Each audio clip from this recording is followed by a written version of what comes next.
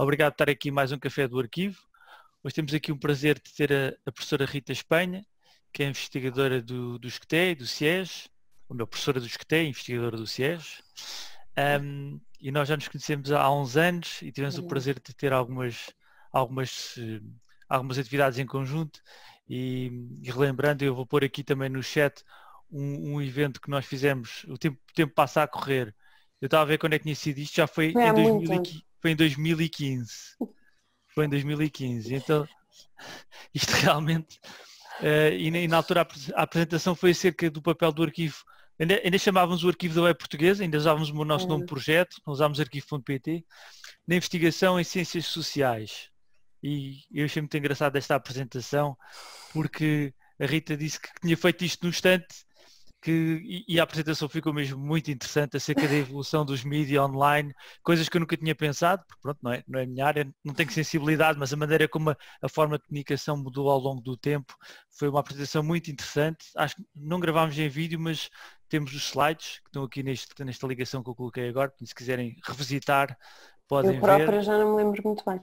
Ainda podem ser que deem jeito para algumas aulas. É verdade, é verdade.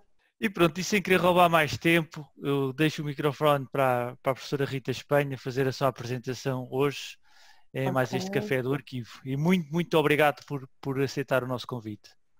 Eu é que agradeço mais uma vez terem interesse naquilo que é o meu trabalho e naquilo que tem sido o, o meu trabalho de investigação nos últimos anos. Este tema em particular, e, eu na altura em que o Ricardo falou comigo, acabei por avançar uh, um bocadinho com esta ideia de, de trazer para esta discussão uh, o tema da saúde na internet, uh, porque de facto tem sido a minha área de investigação nos últimos anos. Uh, desde 2005, mais ou menos, que eu comecei a trabalhar sobre o, a presença da, da saúde na internet e a sua importância, mas mais do que a presença, e uma vez que eu sou socióloga não é, de formação, uh, aquilo que, que muito me tem interessado nestes últimos anos nesta área é perceber também o que é que essa presença e o que é que as utilizações que as populações fazem no campo da saúde, utilizando para isso as novas tecnologias em particular, os mídias em geral, mas as novas tecnologias e a internet em particular nas suas diversas formas, que até aos nossos dias, como vocês sabem também, uh, tanto tem mudado, o que é que isso tem alterado uh, naquilo que é a relação dos indivíduos com a saúde, com a sua saúde, com a saúde dos seus familiares, etc. O Daniel já me apresentou, portanto não, não vou perder tempo com isso. Uh, de facto, a única coisa que uh, faltava acrescentar daquilo que o Daniel disse era precisamente que a minha área de investigação nos últimos anos, apesar de eu dar aulas de, no, no, campo da, da, da comunicação, da área de, das ciências da comunicação e da sociologia da comunicação. Tenho-me especializado muito e tenho feito a maior parte do meu trabalho de investigação uh, no campo desta ligação entre a saúde e, e, e, as tecnologias e os mídias, etc. E é um, um bocadinho essa experiência, no fundo, e essas conclusões dos diversos trabalhos de investigação que tenho vindo a realizar ao longo destes últimos uh, quase 20 anos, que eh, vos trago aqui alguma informação, algumas conclusões, ou seja, não vos vou apresentar uh, investigação de forma sistemática, mas sim conclusões e aspectos relevantes dessa, dessa investigação que tem vindo a ser realizada.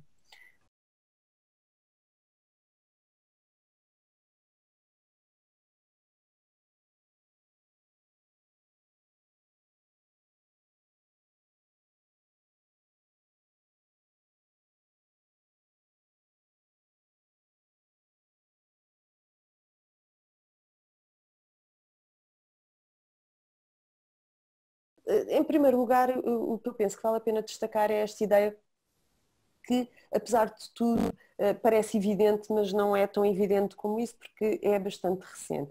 Esta ideia de que a saúde é uma das preocupações centrais para os cidadãos nas sociedades contemporâneas. Eu acho que isto, no momento em que estamos a viver, não é, de pandemia, torna-se particularmente relevante. E é até interessante verificar como eh, nas diversas pandemias e epidemias e outros tipos de doenças que têm vindo a, a, a, a, ser enfrentadas pelas populações ao longo da história, talvez nunca nenhuma outra como esta que nós estamos a viver agora teve o impacto mediático uh, como, como, agora tem. E isso tem dois, dois aspectos que vale a pena realçar. Por um lado, é, é o facto da saúde ter vindo progressivamente a tornar-se cada vez mais central para os cidadãos nas sociedades contemporâneas, muito mais do que já foi noutras eras, e simultaneamente também o papel dos mídias e o papel de, de, da internet, das redes sociais, das formas de comunicação online e, e offline, mas principalmente o facto de nós podermos partilhar muita informação, interagir em tempo real, etc., trouxeram é, uma importância dos próprios mídias para a problemática da saúde e do seu entendimento. E isso em dois aspectos, não é? Não só na construção das representações sobre saúde, que todos nós uh, vamos fazendo, mas também no domínio das práticas, não é? Naquilo que é a nossa prática em termos de saúde. E as tecnologias de informação e comunicação são, assim, ou pelo menos assim a investigação nos tem permitido concluir, instrumentos para a construção da autonomia dos sujeitos. E já vamos perceber melhor o que é que isso significa. Por um lado, elas oferecem uh, aos indivíduos, elas as tecnologias de informação, a possibilidade daquilo que podemos chamar de resistência e de autonomia face a outras contradições que são inerentes das próprias sociedades modernas.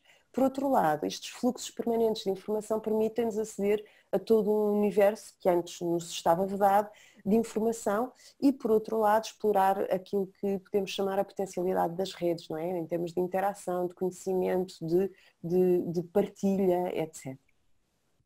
E assim temos uh, este aspecto que é grandes quantidades de informação sobre saúde e medicina também são cada vez mais disponibilizados a partir de diversas fontes, numa multiplicidade de canais informativos, tanto os mídias propriamente ditos, como todo o tipo de interações que nós vamos desenvolvendo com médicos, profissionais de saúde, familiares, amigos, colegas de trabalho. Muitas vezes este tipo de, hum, de comunicação, esta, esta multiplicidade de canais tem também uma base hum, que é hum, a base internet. Okay? Assim, há duas questões que se revelam muito, muito importantes quando olhamos para estas questões da, da medicina e da saúde e da internet. Por um lado, perceber porque é que os mídias são tão importantes ou se tornaram tão importantes na gestão das emergências médicas e do cuidado de saúde. Eu acho que isso é muito evidente eh, também uh, neste momento que nós estamos a viver agora.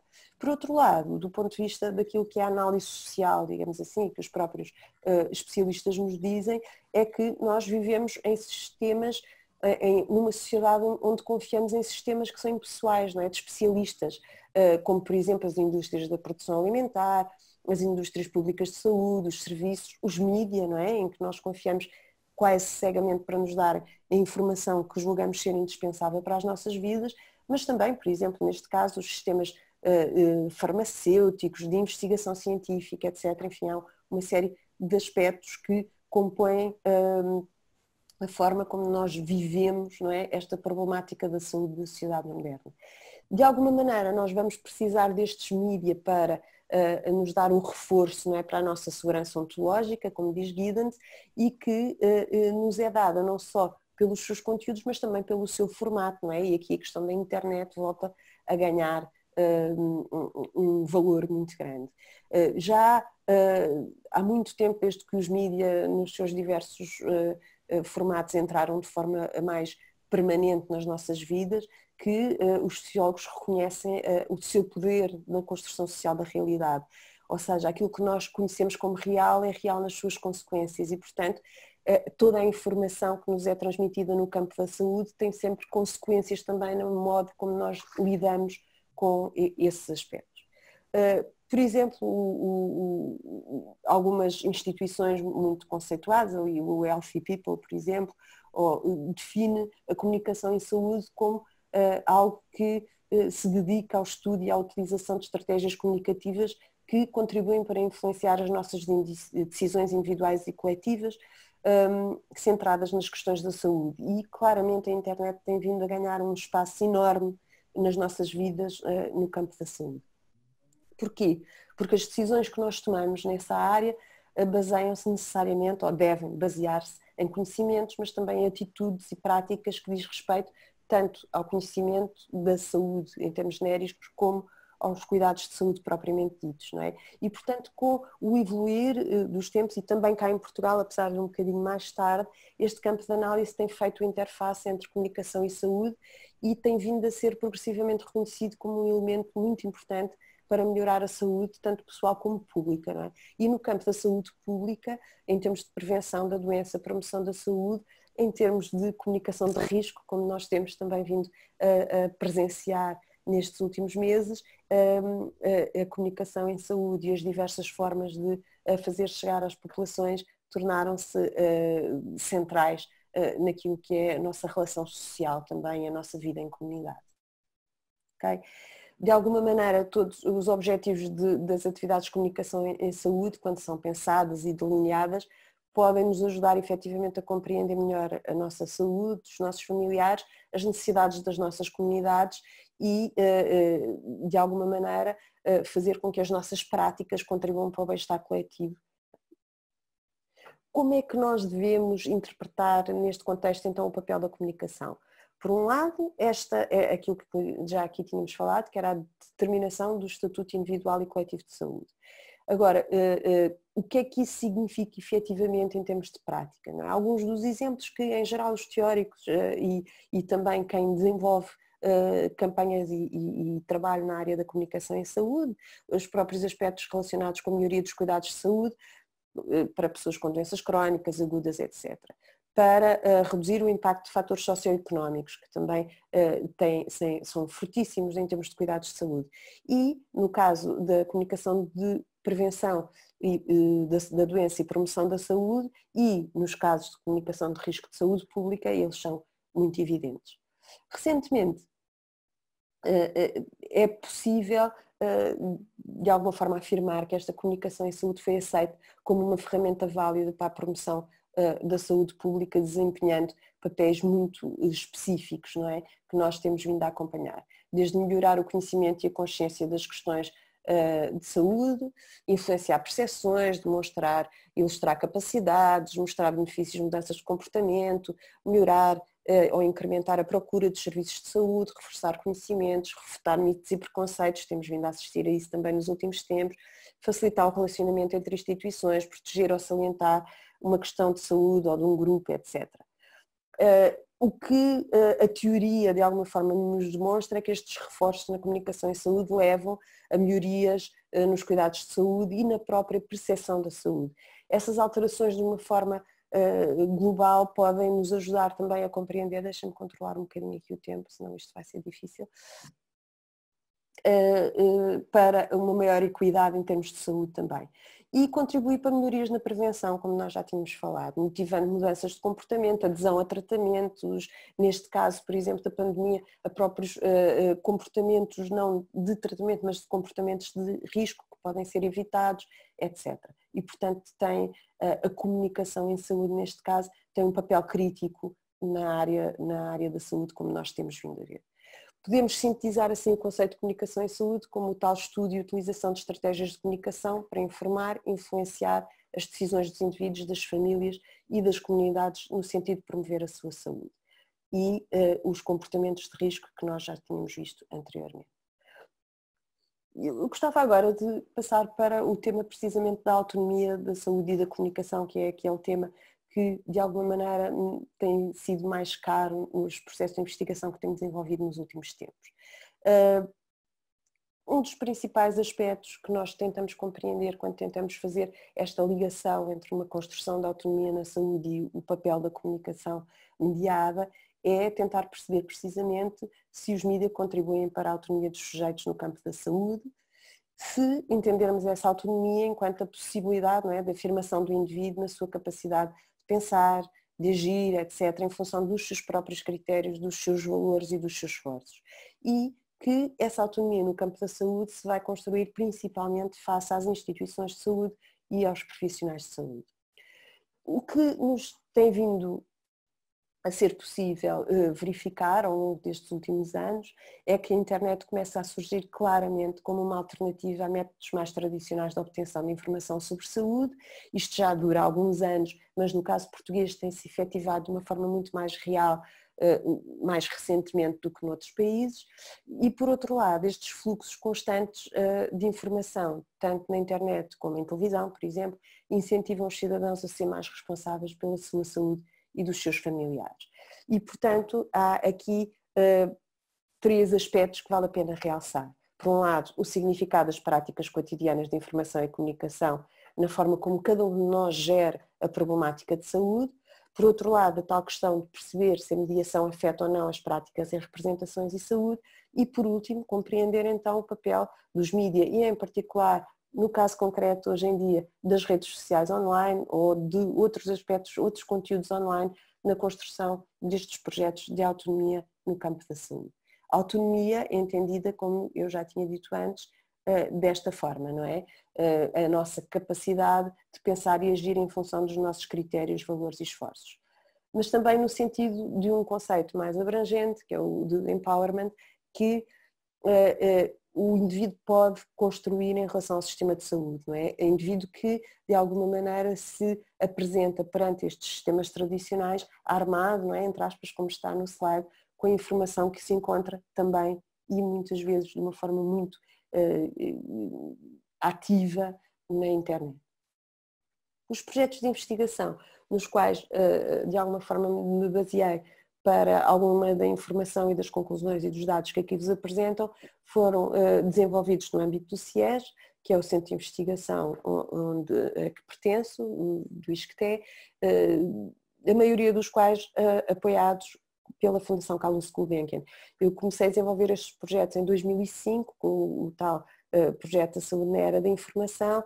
Mais tarde, uh, outro projeto chamado Saúde em Rede veio uh, aprofundar e desenvolver outros aspectos desta, desta, desta abordagem, de tentar compreender o papel dos mídias e da internet em particular na nossa relação com a saúde e mais recentemente, já em 2015, um outro projeto sobre a literacia em saúde de que falarei um bocadinho mais à frente, eh, foi também eh, desenvolvido sob minha coordenação também com a, o apoio da Fundação Carlos Gulbenkian e onde aproveitámos também para tentar compreender que se tinha havido grandes mudanças e qual continuava a ser ou não o papel da internet e das tecnologias de comunicação e informação no campo da saúde para os portugueses.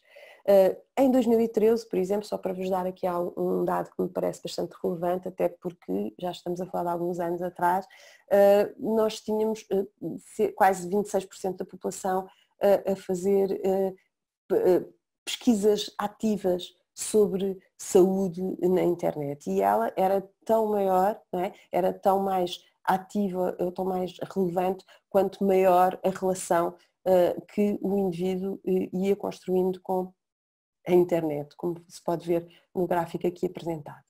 Mas também, nesse âmbito, foi possível perceber quais eram os principais problemas que eh, eram percepcionados pela população relativamente às pesquisas sobre saúde que realizavam na internet. E ela tinha a ver com aspectos que eh, foram sendo reforçados ao longo dos anos e que, em alguns casos, têm vindo a ser ultrapassados, eh, até pelo papel que as próprias instituições de saúde e os profissionais de saúde têm vindo a, a, desempenhar nessa evolução, mas que fundamentalmente eram estas questões. A qualidade de informação que se encontrava, a grande quantidade de informação disponível, mas sem saber muito bem onde a encontrar, a natureza da pesquisa, e essa não mudou muito, ou seja, as pessoas continuam a pesquisar fundamentalmente uh, em motores de busca e, portanto, depois uh, nem sempre são direcionadas para um, ehm, informação uh, que tenha garantias, digamos, de credibilidade e, portanto, as questões da confiança eram as grandes questões que eram levantadas pelos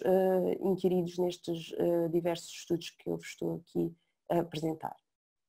Algumas das ideias a reter uh, têm a ver precisamente com uh, as aprendizagens em saúde uh, por intermédio da, das tecnologias de informação e comunicação, nomeadamente através da internet, não, acabaram por não mudar muito aquilo que eram as fontes de informação já instituídas previamente, ou seja, o profissional de saúde, etc., mesmo quando o fazem através da internet, e uh, nem a relação que os indivíduos estabelecem com os sistemas de saúde, apesar de eu estar convencida que esta crise hoje que nós estamos a viver uh, de pandemia, esta crise provocada pelo Covid-19, talvez tenha vindo a alterar de uma forma muito significativa a maneira como nós nos relacionamos com as tecnologias de comunicação e informação no campo da saúde e tenha havido aqui uma eh, abordagem, uma, uma alteração de fundo, não só dos indivíduos eh, que acedem aos cuidados de saúde e à informação sobre saúde, mas também dos próprios profissionais de saúde e das instituições de saúde que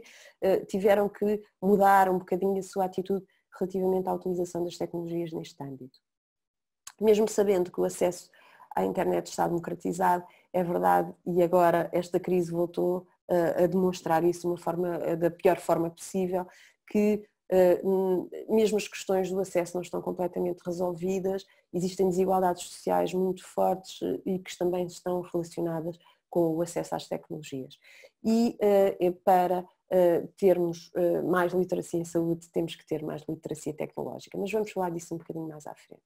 A autonomia de que eu vos falo depende ativamente de aspectos muito importantes uh, daquilo que se passa em termos de internet e saúde, não é? Nomeadamente o tipo de conteúdos que são disponibilizados online, da qualidade e da credibilidade desses conteúdos e também da facilidade que as pessoas têm de utilizar e entender os conteúdos e recursos disponíveis, o que nos levou, como eu vos disse há pouco, um estudo mais aprofundado sobre as questões da literacia em saúde em Portugal, de que vos vou falar um bocadinho mais à frente. De todo modo, eu acho que é muito importante nós reconhecermos o papel central também do profissional de saúde e das instituições de saúde no desenvolvimento daquilo que nós podemos chamar o cidadão informado ou o cidadão bem informado, não é? E que é alguém que constrói a sua autonomia no campo da saúde a partir precisamente desta possibilidade de adquirir informação e conhecimento, de interagir com outros cidadãos, especialistas ou não, e de produzir ele próprio informação sobre saúde baseada na sua experiência, que é a grande mudança que nós verificamos sobre a utilização das, das, tecnologias e da internet em particular quando falamos do campo da saúde. E, portanto, podemos constatar um crescimento e um desenvolvimento de plataformas de comunicação, daquilo que nós chamamos de comunicação horizontal, não é? ou de redes sociais no campo da saúde. Okay? Eu trago-vos aqui alguns exemplos, alguns mais antigos, outros um bocadinho mais modernos, de apresentações antigas que eu já tinha feito sobre estas matérias, outras que uh, fui atualizar agora e que têm uh, a ver precisamente com esta relação muito grande que eh, acabou por se criar eh, entre as redes sociais e a informação, o conhecimento e a discussão e a interação sobre saúde. Eh, e quando vos falo de redes sociais, em particular no campo da saúde, tem a ver com uma constatação que a pesquisa e a investigação, não só realizada por mim, naturalmente, em Portugal, mas em termos globais e por outros atores e outros colegas investigadores em todo o mundo, esta é uma área de investigação que tem vindo a crescer muito em todo o mundo nos últimos anos, é o, o surgimento muito relevante de uh, plataformas de interação uh, no campo da saúde que uh, estão diretamente relacionadas também com uma evolução do próprio, da própria maneira como os cidadãos se relacionam com a saúde. E tem a ver com vários tipos de evolução social, que eu não, não, não tenho tempo aqui para vos, vos descrever todas a, a, aquelas que eu consideraria importantes, mas que ainda assim uh, acho que vale a pena relembrar uh, porque é que estas redes de comunicação horizontal uh, são tão importantes para nós no nosso cotidiano e porque é que elas podem ser tão importantes no campo da saúde. É que muitas vezes a relação que nós desenvolvemos com os profissionais de saúde são relações de tipo vertical, profissionais de saúde e instituições de saúde, não é? Em que o, o, o indivíduo, a, quem eu não gosto muito de chamar o doente nem o paciente, porque a nossa relação com a saúde extravasa muito a situação de doença, não é? Nós relacionamos com as questões da saúde no nosso cotidiano, a maior parte das vezes não estamos doentes, nem, nem, nem é essa a causa da nossa relação, mas muitas vezes também quando estamos doentes precisamos de comunicar, de interagir, não apenas com uh, profissionais de saúde, mas também com outros iguais a nós, não é? O tal comunicação horizontal. Pessoas que ou têm, cuidam de pessoas doentes como nós cuidamos, pessoas que têm doenças semelhantes à nossa, etc. E, portanto, desde muito cedo, um, quando uh, começou a ser possível construir conteúdos online, quando começou a ser possível construir plataformas de comunicação do tipo das redes sociais, as plataformas no campo da saúde foram-se desmultiplicando em diversos aspectos. E este é um desses exemplos, muito conhecido para quem estuda a área da saúde e a sua ligação com a internet, que é esta ideia dos, dos pacientes como eu, não é?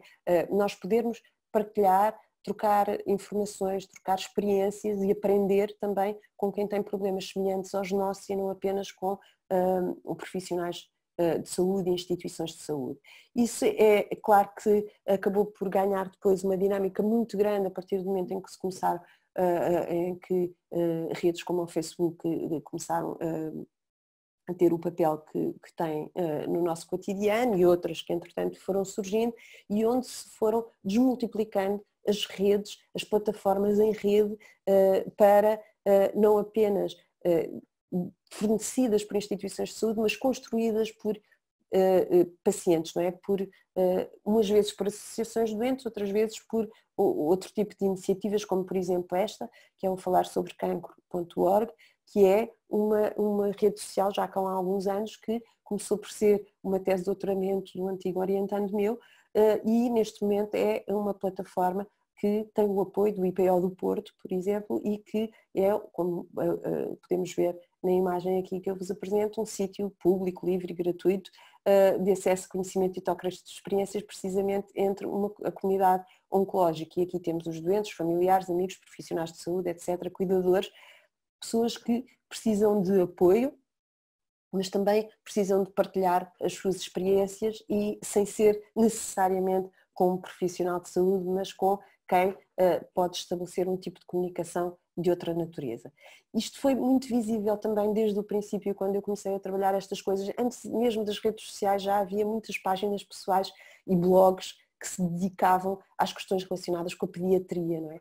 Uh, os jovens pais são muito ativos, jovens pais e jovens mães são muito ativos no online um, e, e, desde muito cedo começaram a criar plataformas de comunicação, uh, formas de, de, de, inclusivamente, noutro tipo de plataformas como o Instagram, sei que existem muitas, muitas uh, iniciativas de jovens pais e jovens mães que utilizam uh, estas tecnologias para expor o seu dia a dia, mas ao mesmo tempo também uh, trocar impressões, dúvidas, etc., sobre como cuidar uh, de crianças e como viver com crianças pequenas. E, e isso foi muito visível no online desde que foi possível começar a construir este tipo de plataformas.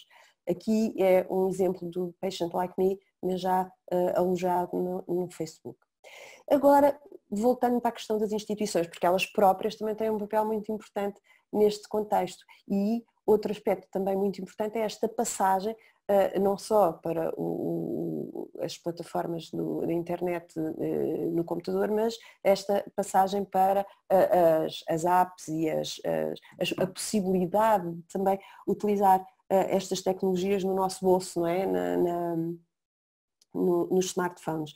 E eh, em Portugal, eh, como noutros países, eh, aliás, todo o nosso sistema de saúde e até esta passagem para o online do hum. nosso sistema de saúde é muito inspirado no sistema de saúde em inglês do, e, e, e, alguma dessa, desses exemplos vêm daí, mas progressivamente e, e, nos últimos anos, em particular, nos últimos 10 anos, temos vindo cada vez mais a, a, a ter uma presença da, do Serviço Nacional de Saúde eh, no, no, no, online, não é? E é uma utilização crescente também, um, neste caso da oferta de diversas plataformas, instrumentos, uh, etc., que estão alojados, uh, são partilhados através dos serviços partilhados do Ministério da Saúde, criação de uma série de uh, tecnologias, etc., que permitem um acesso mais facilitado da população àquilo que são os serviços que nos podem ser prestados pelo Serviço Nacional de Saúde. Mas permanecem uma série de questões que eu gostava ainda de ter tempo para uh, partilhar convosco, penso que ainda tenho aqui um bocadinho, e que uh, surgem muito quando nós falamos de saúde neste campo, não é? Que é se uh, esta introdução das tecnologias no campo da saúde, que tem tantos benefícios que todos nós, se calhar, mais uh, mais uh, incluídos do ponto de vista tecnológico, não é? mais utilizadores com maiores facilidades, mas que uh, a, investigação nos tem permitido verificar que pode conduzir ao surgimento de novas segmentações e novas exclusões sociais, o que é um bocadinho o lado negro não é, da força aqui neste caso. Isto foi possível uh, verificar com o desenvolvimento do tal projeto sobre literacia em saúde em Portugal, de que eu vos falei já há pouco, e que uh, foi um projeto também apoiado pela Fundação Carlos Gulbenkian e pretendia uh, aferir precisamente qual era o nível uh, de literacia dos portugueses, literacia em saúde neste caso, e que nos permitiu de alguma forma, deixo-vos aí a definição do que é que é a literacia em saúde e qual foi a definição que foi adotada neste projeto em particular, mas que nos permitiu, porque achámos importante também aferir as fontes e qual era o papel da utilização das tecnologias de comunicação e informação também em Portugal, aproveitando a oportunidade de voltar a questionar a população portuguesa nesse âmbito. Uma das conclusões, e isso é, é, é relevante porque também tem a ver com aquilo que é a utilização da informação através destas formas como a internet, é, é, importante termos em consideração que baixa literacia em saúde é, é, é algo que genericamente tanto a investigação como as próprias políticas públicas reconhecem que pode dar origem a maior nível de internamentos, pode levar a uma utilização mais frequente de serviços de urgência, pode levar a uma menor prevalência de atitudes individuais e familiares preventivas e, portanto, a uma menor qualidade de vida em termos gerais. Mas naquilo que diz respeito especificamente à utilização das tecnologias de comunicação e informação, eh, digamos que eh, nós não ficámos, não foi eh, uma surpresa, mas ao mesmo tempo também verificámos, e isto tem a ver um bocadinho com aquilo que eu costumo chamar a sociologia de, de, de proximidade que nós todos às vezes fazemos, não é? E nós pensamos sempre, bem, eh, toda a gente que eu conheço usa a internet, toda a gente que eu conheço uh, tem facilidade de utilizar as tecnologias, toda a gente uh, que eu conheço utiliza fontes diversificadas, etc. Mas quando nós efetivamente vamos para o terreno e vamos ver como é que a população portuguesa reage relativamente a certos aspectos, acabamos por reconhecer que as desigualdades no campo também da utilização das tecnologias de comunicação e informação são muito grandes em Portugal e estes são alguns números eh, que eh, são extraídos precisamente do projeto Literacia em Saúde em Portugal e que nos dão uma dimensão um bocadinho mais dramática do que aquela que nós no nosso cotidiano uh, tendemos a, a, a, considerar. Aliás, isso ficou claro também agora com esta questão do teletrabalho, de, de, da escola à distância e das dificuldades enormes com que boa parte da população portuguesa acabou por por se defrontar eh, quando teve que uh, utilizar as tecnologias quase exclusivamente para poder continuar a ter aulas ou poder continuar a trabalhar, etc. E o que revela que, apesar de todas as evoluções, uh, Portugal continua a ter aqui um, um, um, problema de transição para o digital, não é? Como se usa dizer nos meios próprios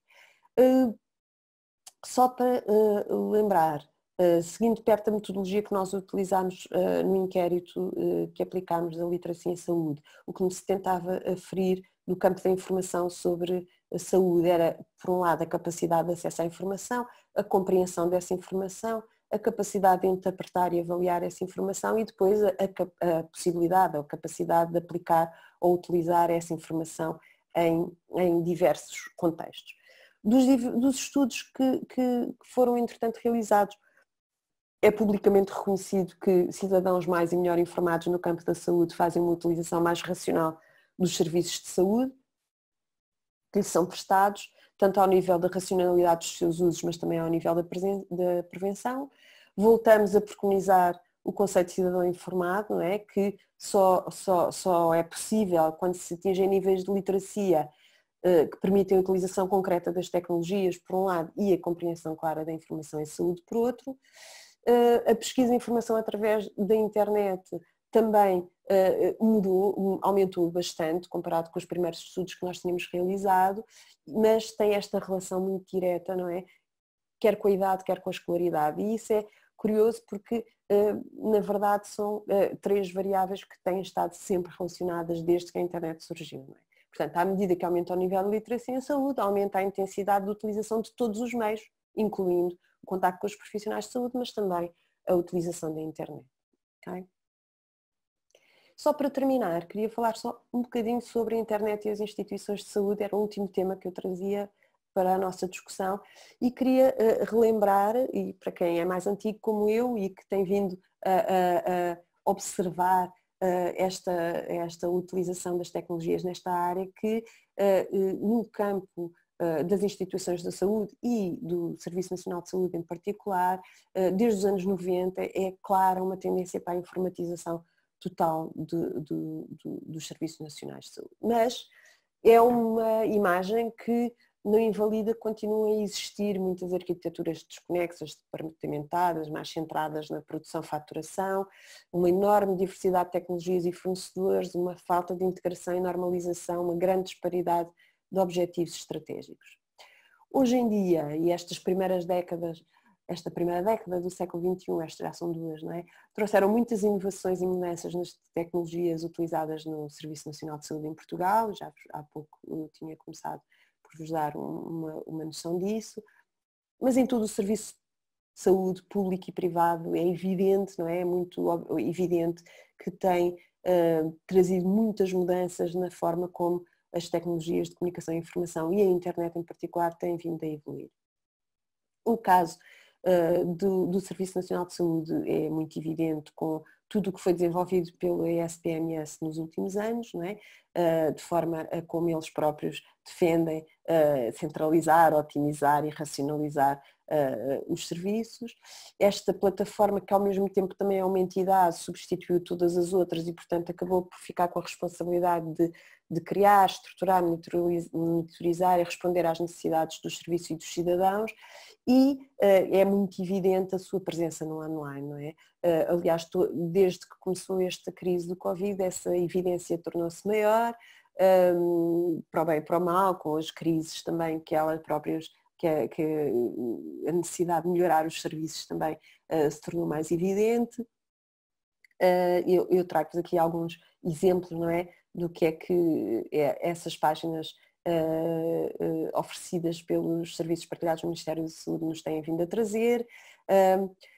a própria área de cidadão no portal do Serviço Nacional de Saúde tem vindo a ter uma evolução enorme nos últimos anos, uh, o que não quer dizer que seja muito fácil a sua utilização por pessoas com um, uh, eh, menos uh, incluídas do ponto de vista digital, não é?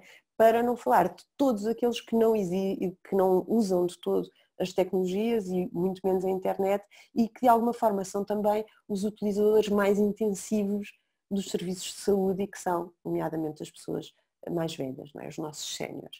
Uh, de qualquer modo, esta utilização da internet passou para uh, o, o, Serviço Nacional de Saúde, passou a ser de uma, ter uma dinâmica muito maior, obrigando a que não só o cidadão, mas principalmente o profissional de saúde e as instituições de saúde utilizem a base internet para o desenvolvimento da maior parte das suas atividades administrativas, de informação, de registro, etc como se pode ver nas diversas, uh, nos diversos, no fundo, uh, plataformas, serviços, etc., que são uh, desenvolvidos neste âmbito. Um, o portal do cidadão, a mesma coisa, não é? Que tem esta, esta abertura para que o cidadão possa resolver a maior parte dos seus problemas para além uh, de saúde, não de saúde, mas de relação com o sistema de saúde através destas plataformas. Eh, e tal é, é visível na desmultiplicação de uh, sites, plataformas, formas de entrar, etc., que uh, os diversos sistemas de saúde públicos e privados têm vindo a desenvolver.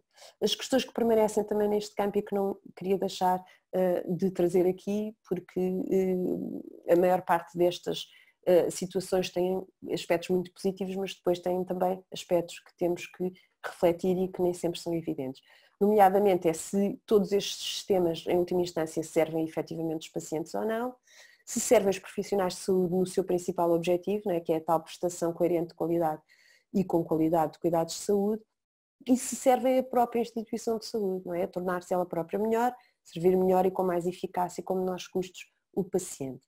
em termos de notas conclusivas e mesmo para terminar, porque já estou a falar há muito tempo e acho que estes, assuntos têm, uh, levantam muitas questões que vale a pena serem discutidas, uh, é voltarmos a, a, reafirmar que esta crescente utilização das tecnologias de, de, de informação e comunicação aplicadas à saúde são uma realidade em Portugal e esta tendência, evidenciada pelo potencial destas ferramentas tecnológicas, tem sido muito promovida e estimulada no nosso Serviço Nacional de Saúde. E fico por aqui, já falei muito tempo, uh, e deixo naturalmente agora a palavra para quem quiser uh, levantar questões, falar, levantar dúvidas, discutir aspectos relacionados com aquilo que foi falado, etc.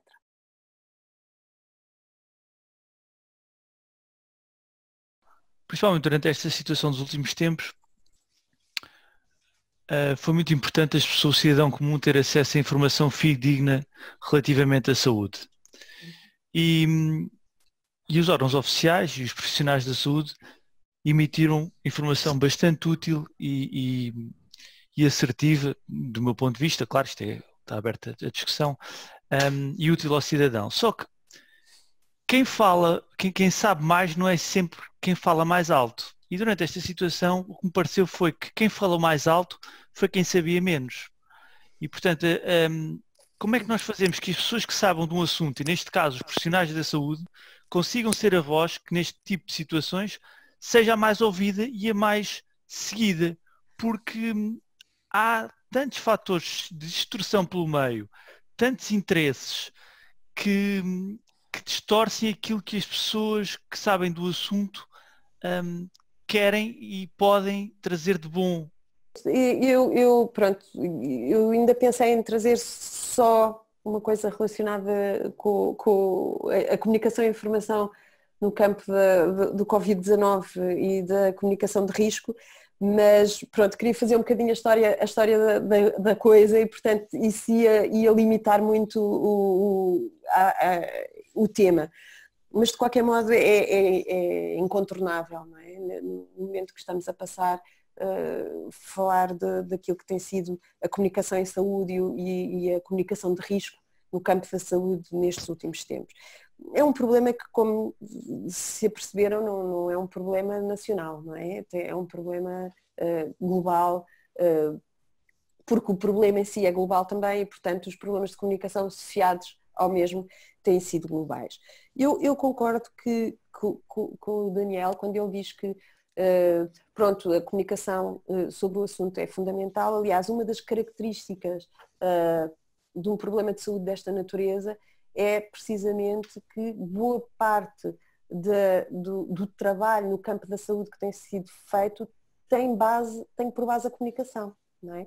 Ou seja, aquilo que toda a prevenção, de, de, do contágio, toda a parte de mudança de comportamentos, toda a, adesão das pessoas para a diminuição dos fatores de contágio, etc., dependem exclusivamente de uma boa comunicação sobre essa matéria, muito mais do que tratamentos ou de, ou de, de sei lá, ou de conhecimento científico ou de seja do que for, dependem muitíssimo de uma comunicação muito bem realizada para que as pessoas adiram, digamos assim, a um tipo de comportamentos que previna um aumento de contágios, não é? E esse tem sido, talvez, um, o calcanhar daqueles uh, de, de, da maneira como as autoridades de saúde, não apenas os profissionais, mas as autoridades de saúde de uma forma mais genérica, têm vindo a tratar este problema. Mas isto tem tido uma, um, um, uma agravante, neste caso em particular, que é o fator de incerteza. E o facto das próprias autoridades de saúde, e nem é preciso falar da DGS, podemos falar da OMS, não, é? uh, não terem desde o início muito bem a certeza do que é que deve ser recomendado e não deve ser recomendado às pessoas. E esse é talvez o, o tem sido o drama uh, do, do, do, ponto de vista da comunicação em saúde que, este, que esta situação em concreto da pandemia tem vindo a trazer desde o seu início. Ou seja, hum, nem sempre, apesar de serem úteis, como disse muito bem, eh, e assertivas, a forma como as autoridades de saúde têm vindo a fazer eh, a comunicação sobre esta área, a verdade é que também mudam muitas vezes as recomendações. não, não estou, isto não é uma crítica explícita, porque na verdade muitas vezes mudam as recomendações porque as evidências sobre a doença também vão mudando, não é? E a, a, o conhecimento científico também vai mudando e, e o, o, nível de incerteza desta doença é tão grande que as autoridades de saúde têm tido elas próprias, penso eu, muita dificuldade em ter uh, uma linha uh, de comunicação para uh, a adoção de determinados comportamentos um bocadinho errática, é? E que depois é muito prejudicada pelos aspectos políticos também associados a estas, a estas formas de comunicar. Por um lado temos a comunicação científica, não é? Vêm os senhores da DGS ou da OMS ou o que for, é? as autoridades próprias dizer deve-se fazer isto, não se deve fazer aquilo, etc.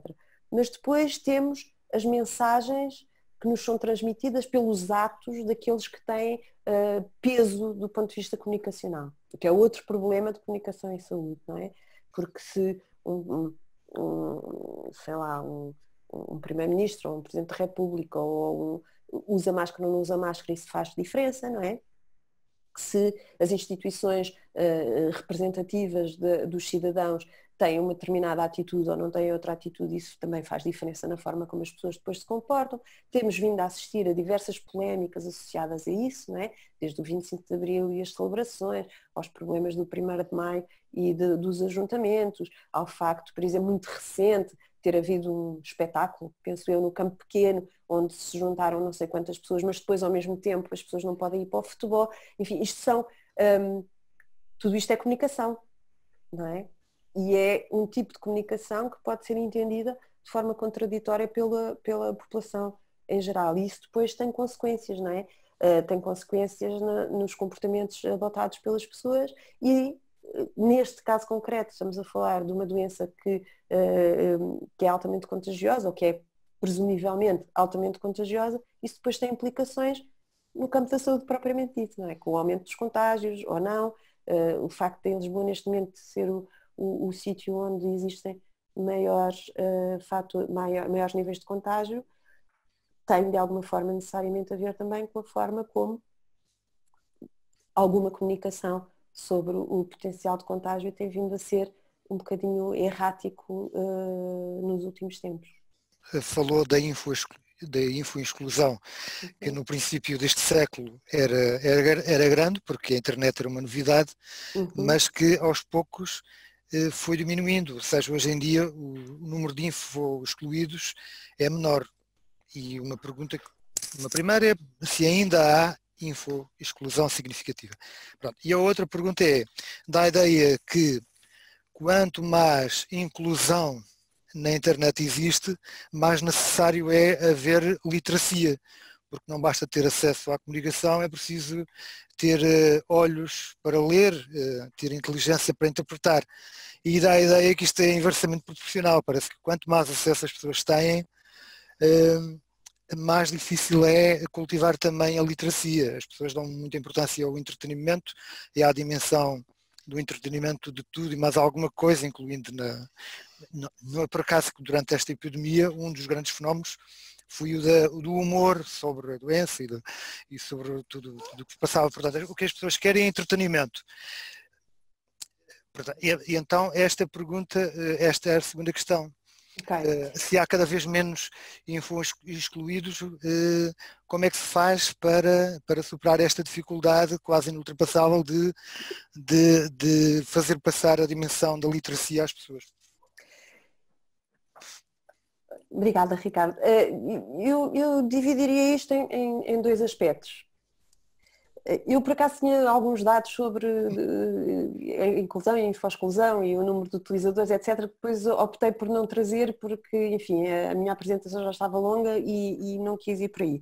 Mas, de facto, é verdade que nós temos uh, muitíssimo mais utilizadores da internet hoje em dia do que tínhamos há 20 anos, não é? Como é óbvio, não é? Por razões de todas as naturezas e mais algumas que tem a ver com o acesso, a facilidade de acesso, os preços, não é? que é uma coisa muito importante, a própria, os próprios um, aparelhos, não é? Os computadores, os telemóveis, boa parte da população tem acesso à internet através de smartphones, não é? Houve uma, um grande aumento de utilizadores de internet quando a internet passou a ser também utilizada em dispositivos móveis, não é? Isso faz uma diferença bastante, bastante grande.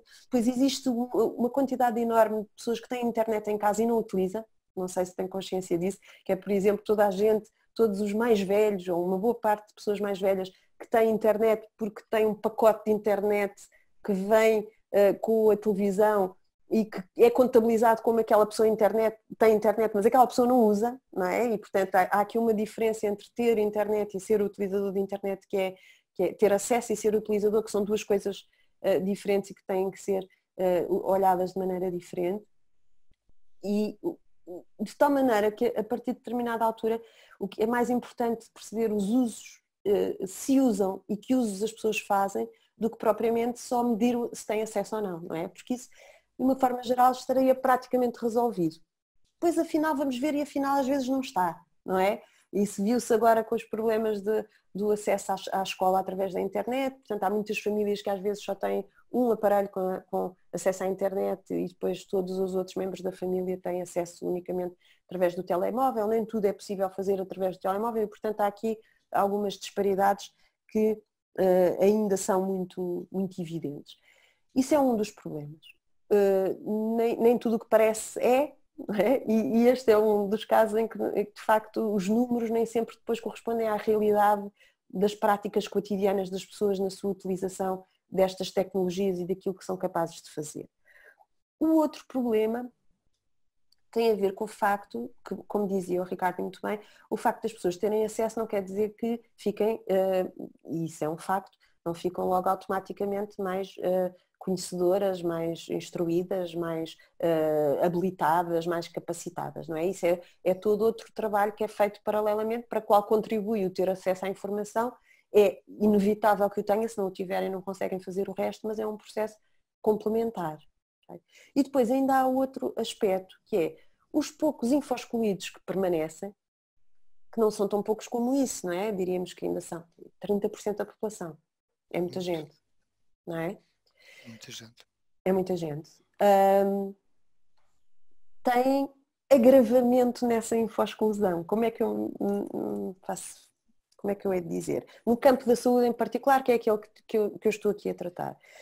Repare, nas evoluções todas que houve no campo da saúde e, e na sua ligação às tecnologias de comunicação e informação. Facilidade de marcar uma consulta online, ou até de ter uma teleconsulta, que foi algo que se tornou agora, durante esta crise do Covid, muito mais, muito mais frequente. Era algo que os profissionais de saúde também não gostavam particularmente, mas que tiveram que se habituar nestes últimos meses a, a fazê-lo. Uh, todos esses aspectos uh, são importantes, são possíveis, são relevantes, uh, mostram grande evolução na maneira como nós lidamos com eh, esta ligação entre tecnologia e saúde, mas deixa de fora uma parte muito importante da população. Que ficou ainda mais, ou seja, é, é a mesma percentagem de pessoas, mas com uma exclusão agravada. Não sei se me faço entender. Ou seja, estas pessoas que já eram muitas vezes pessoas uh, consideradas uh, mais suscetíveis, digamos assim, não é? Mais, mais de risco porque eram mais velhos, porque eram mais doentes, porque tinham menos escolaridade.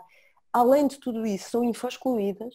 É? E como há uma melhoria da relação com a saúde por via das tecnologias, estas pessoas ficam ainda mais excluídas porque são excluídas também no âmbito das tecnologias.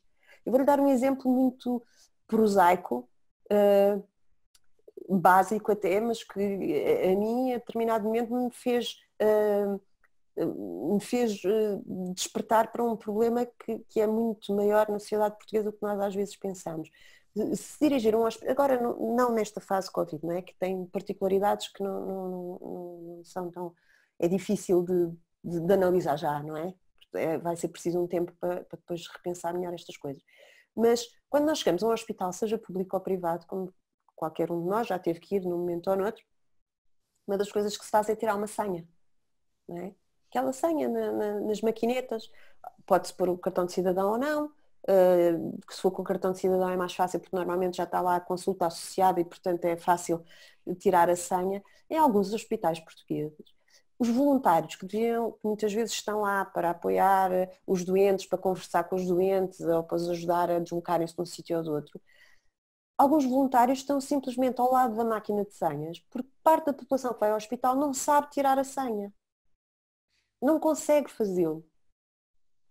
E isto eh, mostra bem como nós às vezes, um bocadinho porque, enfim, vivemos na tal, é? nas nossas bolhas, das pessoas que nós conhecemos e das pessoas com que nós nos relacionamos e dos meios nos quais nós vivemos o nosso cotidiano, e há todo um outro mundo, não é? Ao lado, que não consegue sequer uh, tirar uma senha quando chega ao hospital e começa a estar excluído logo ali, se não houver ninguém que o ajude a tirar a senha do hospital. E isto eu acho que era importante refletirmos um bocadinho sobre isto, porque as tecnologias são muito importantes. Eu, como vocês sabem, aliás, vê-se é, pelos meus cabelos brancos, sou uma early user, não é? Comecei a usar muito cedo as tecnologias e, portanto, não me sinto infoscluída de maneira nenhuma.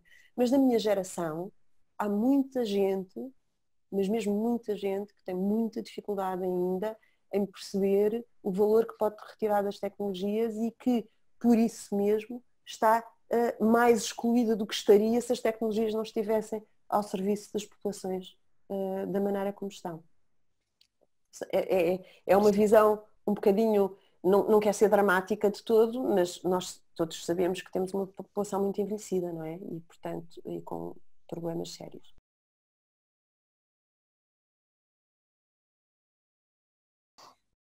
Tem razão, é a única coisa que eu lhe posso dizer sobre isso.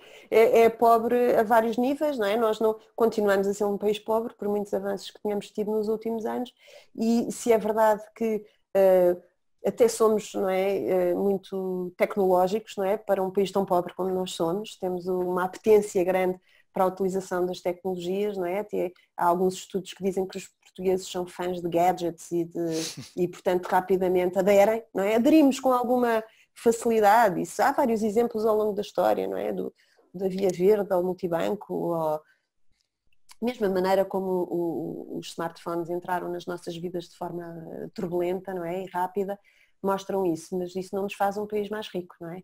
Uh, às vezes faz-nos um país mais complexo.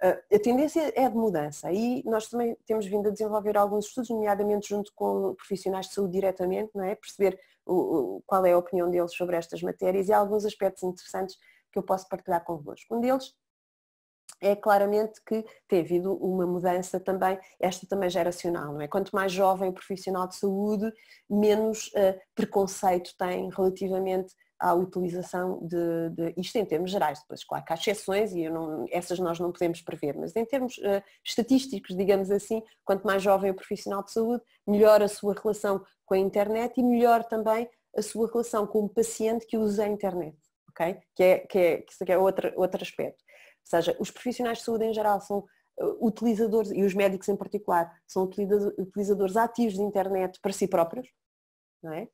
E progressivamente, lentamente, estão a começar a, perceber que eh, as pessoas, eh, de uma forma quase incontornável, vão pesquisar sobre saúde, vão pesquisar sobre doenças, vão eh, buscar informação outros locais que não ao profissional de saúde e vão começando a aprender a lidar com o, o, o, o seu paciente, não é? Partindo do pressuposto que a pessoa tem esse conhecimento paralelo que vai adquirindo por, outra, por outras vias. Mas este processo é longo, é longo, é muito longo. Um, nos primeiros trabalhos, aquele primeiro estudo de, de, que, eu, que eu fiz em 2005, 2006, um, lembro-me de ir assistir a uma, a uma conferência em que um médico muito conhecido da nossa praça, que eu não vou referir quem é, um, dizia, a propósito de uma pergunta que lhe foi feita sobre, então e se um, alguém uh, lhe disser que foi à internet ver qualquer coisa e tem uma opinião diferente, etc. Ele, a resposta dele foi, era o que mais faltava. Era o que mais faltava. Os meus pacientes só querem saber o que eu lhes digo e só lhes interessa aquilo que eu lhes digo e não têm nada que procurar mais nada a lado nenhum, etc. Bem, este tipo de atitude, como deve imaginar, já não é assim. Não é? já, já não pode ser assim. E, e, e, apesar de haver alguma resistência mais dos médicos do que de outros grupos de profissionais de saúde, pelo menos a investigação assim o apresenta, a verdade é que a internet veio para ficar, a não ser que nos desliguem a eletricidade. Um, a informação sobre saúde online está lá. Devia de ser, do ponto de vista da qualidade, cada vez melhor, porque isso era melhor para todos, não é? para utentes, para profissionais, etc e uh, de, eu acho que é uma questão de tempo, noutros países já há muito tempo que é assim, uh, em Portugal uh, também os médicos vão ter que aprender a lidar com cidadãos que estão mais bem informados e que os confrontam. E isso não é sinal de falta de respeito pelo seu saber pericial, pelo contrário, às vezes é uma tentativa de perceber melhor e de confrontar com outras possibilidades, até de alguma maneira ajudar o médico a ele próprio ter uma mente mais aberta e uh, ouvir outras opiniões. Eu aqui há, há uns anos fazia, fiz algumas formações junto de profissionais de saúde precisamente e eu uh, uma de, das conclusões a que cheguei é que muitas vezes as pessoas utilizam a internet não para desafiar o conhecimento pericial do médico. A maior parte das vezes não é esse o objetivo. As pessoas, em última instância, aliás, a, a pesquisa, a investigação diz-nos que uh, uh, at the end of the day, não é? O que as pessoas querem saber é a opinião do médico, não é? Porque o médico é que tem o conhecimento pericial, não é? O médico é que é o especialista. O médico é que nos pode ajudar a interpretar a informação que nós recolhemos noutros locais. A nós não médicos, não é? A leigos. Agora, muitas vezes a internet é aquilo que eu chamo a primeira, segunda opinião. Não é uma contradição, sério. Ou seja, as pessoas vão ao médico às vezes e não percebem muito bem o que ele diz.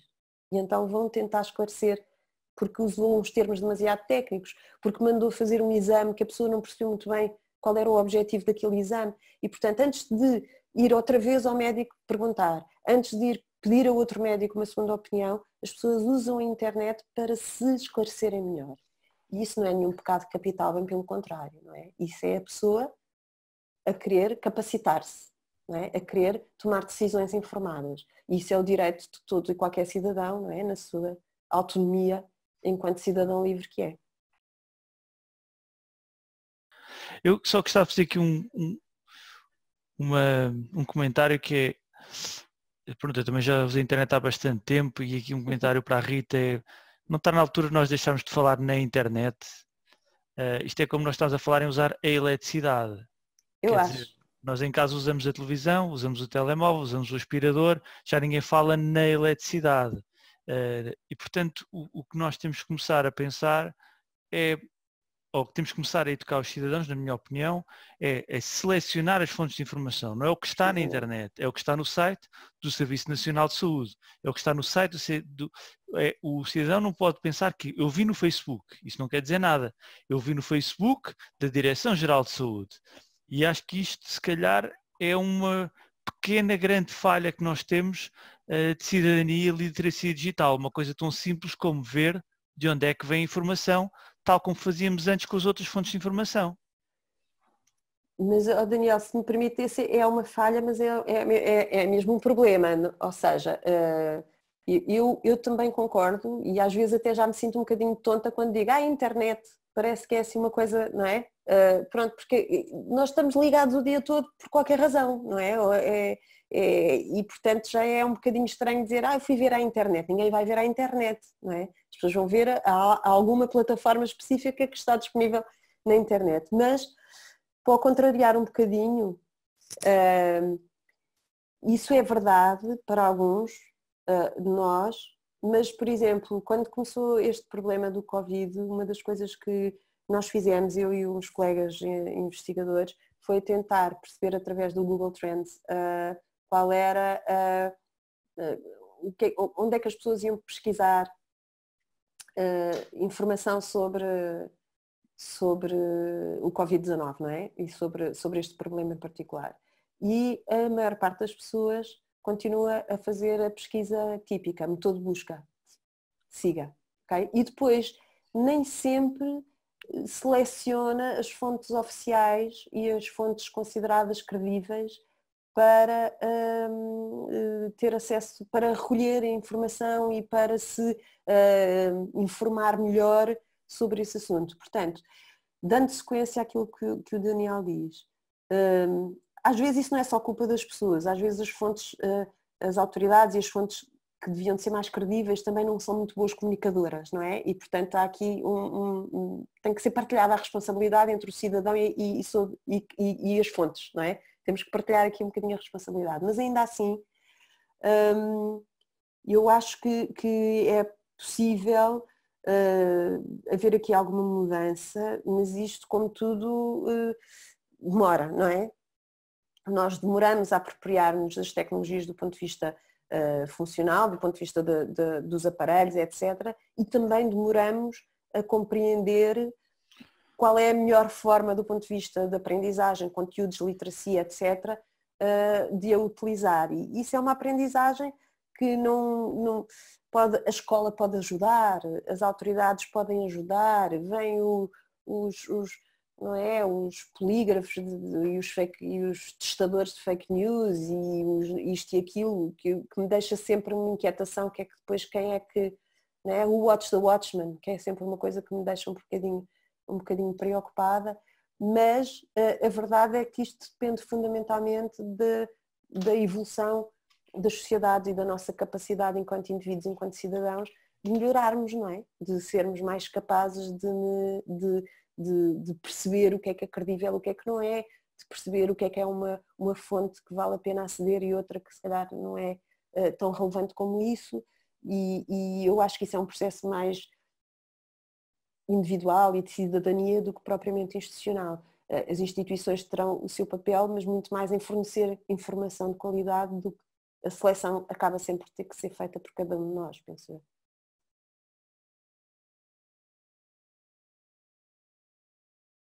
É um facto. É verdade.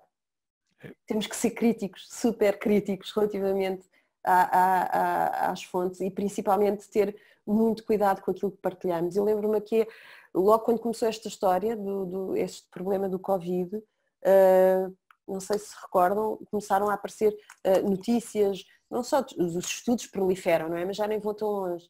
Uh, aqueles, aqueles um, eh, que tinha, portanto, tinha morrido pessoas, ainda não era público e as pessoas começaram a partilhar essa informação.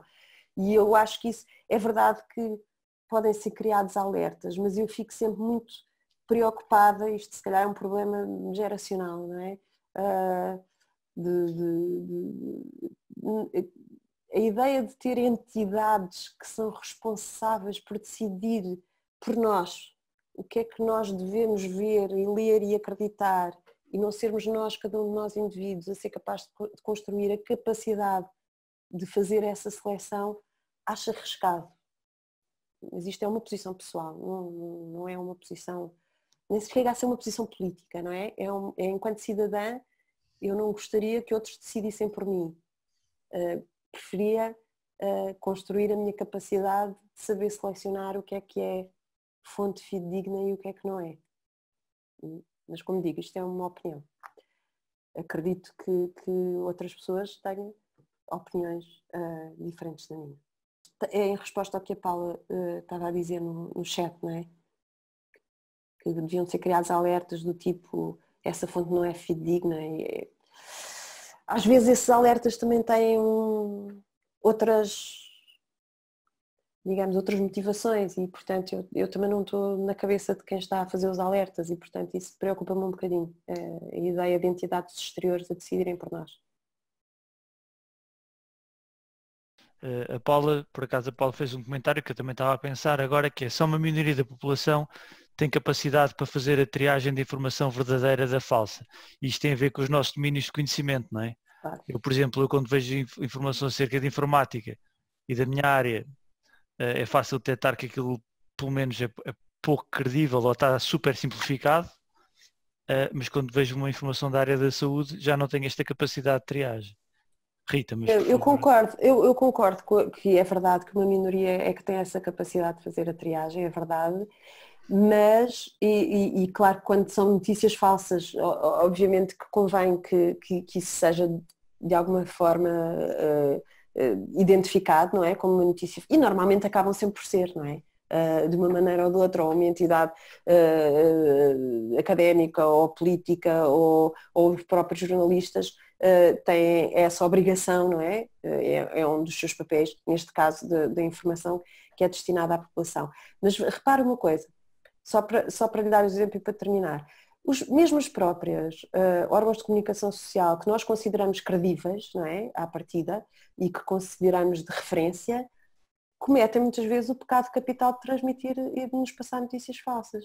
É um exemplo que aconteceu há relativamente pouco tempo e que a mim me deixou particularmente alerta, foi eh, porque, porque vi, porque lá está, como disse o Daniel, como era um aspecto sobre o qual eu tinha conhecimento, eu detetei que era falso assim que olhei para ele. Foi uma notícia da SIC, notícia da SIC no, tele, eh, no jornal noticioso da SIC, eh, logo no início também, quando a pandemia estava ali um bocado mais dramática em Inglaterra e que passou imagens, não sei se vocês se recordam disso, passou imagens na televisão de riots, não é? de, de distúrbios uh, entre a população, de apedrejamentos e incendiarem em Londres, aqueles os típicos autocarros vermelhos e etc. E eu, por acaso, que tinha tinha dado umas aulas uns anos antes, bastantes anos antes, aquilo era um, um acontecimento de 2011 dos London Riots, uh, nos arredores de, de, do, do, centro de Londres, e aquelas imagens eram dessa altura. E eu reconheci as imagens. Okay? E, e, qualquer pessoa reconheceria porque o, o autocarro tinha um, um, um, banner, não é? Assim que se diz, tinha uma publicidade uh, a um filme de 2011 ou 2012, um filme já, já antigo.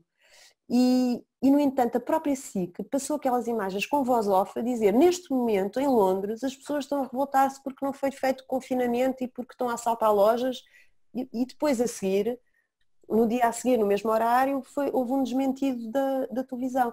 Portanto, como vê, é, é, isto é muito é, é, é, crítico, não é? Quando são os próprios órgãos de comunicação social de referência a transmitir notícias falsas. Portanto, não, não vejo outra maneira a não ser progressivamente, com o tempo, com a população mais uh, uh, informada, uma população mais qualificada, uma população mais atenta, mais desperta para, mas não, ou seja, eu acho que é mais importante a população ir construindo essa sua capacidade do que estarmos sempre a contar que hajam entidades exteriores a resolver o problema por nós.